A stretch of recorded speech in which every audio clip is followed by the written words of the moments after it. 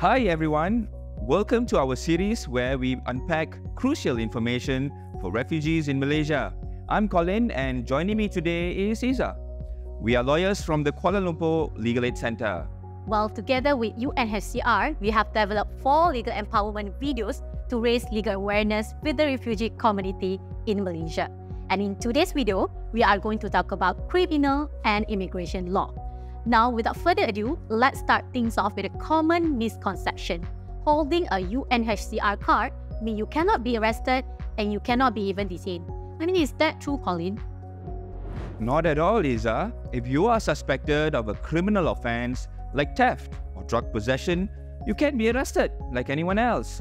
And if found guilty, you can be sentenced to jail time or fine. For immigration offences, the police and immigration authorities have the power to arrest. But generally, after having verified the authenticity of your UNHCR card, they may then release you. But above all, it is best to cooperate with the authorities. If you attempt to resist arrest, you may face charges for obstructing officers in carrying out your duties. What are some of the common immigration offences that could lead to the arrest? Good question, Isa. The common ones include illegal entry to the country, overstaying visas, and working without permits. Got it, Colin? So, let's say if someone get arrested, how long can this person be detained? It varies. For criminal investigations, the detention is up to 24 hours, but it can be extended up to 7 or 14 days if the court allows it. For immigration offences, the detention for investigations can be up to 14 days without going to court. Now, during the investigation period, usually you will be detained at the lockup. At the end of the investigation, you can either be charged in court or be released, depending on the outcome of the investigations. If you are charged in court, you may be further detained under remand at the prison facility. Right. And what should someone do if they are arrested? I'm sure their family must be worried about them.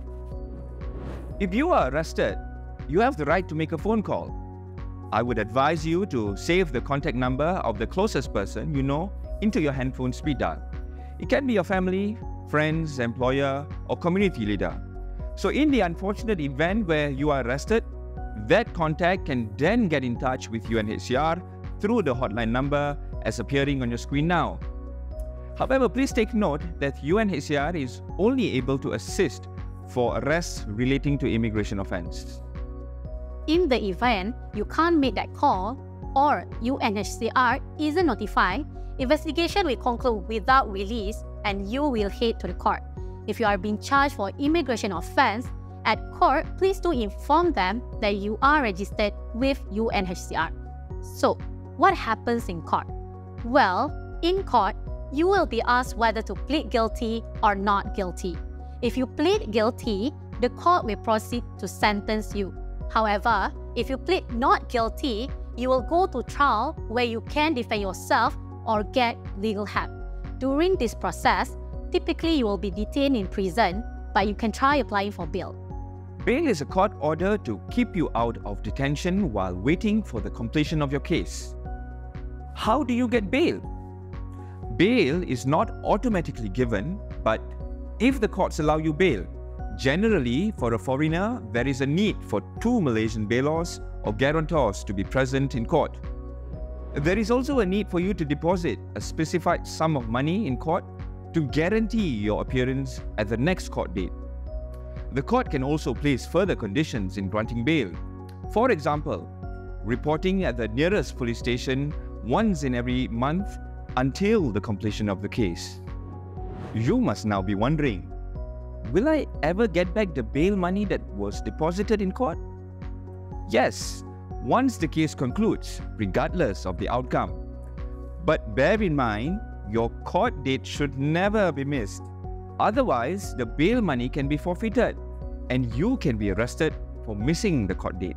Let's say if someone is sentenced, can they be released after serving their sentence? The answer is no. Once a foreigner has completed serving their sentence, they will be transferred to an immigration detention facility pending removal from the country. If you are a UNHCR card holder, UNHCR will try to advocate for your release, but the decision to release you lies fully with the Immigration Department. Now, let's go to another issue. Can you make a police report if you don't have any valid documents and you are not even registered with UNHCR? Every person, including foreigners, are entitled to make a police report anywhere. However, you may want to exercise caution because not having valid documents itself is an offense, which may lead to an arrest. As such, if you are a victim of a crime, it is best for someone to accompany you to lodge a police report. Well, you might be wondering too, what if someone can't afford a lawyer? Is there any alternative calling?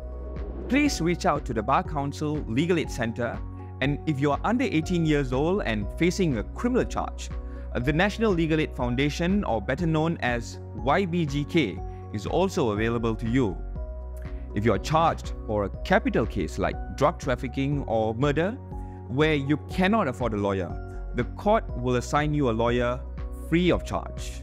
A gentle reminder there are several offences which many may not know are crime offences. These include 1. Carrying a knife or any dangerous weapon in public.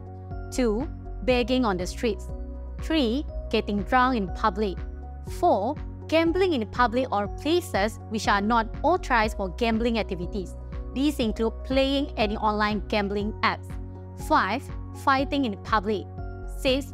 Burning your trash in open spaces. 7. Crossing the road illegally. 8.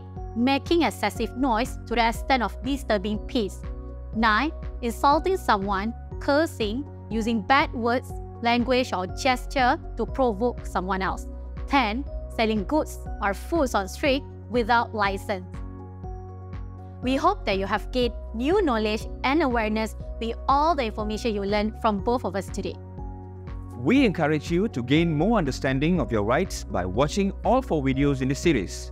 And for more information, you can visit UNHCR Malaysia website at refugeemalaysia.org. Don't miss out on vital information that can empower you and others in your community. Stay informed, know your rights.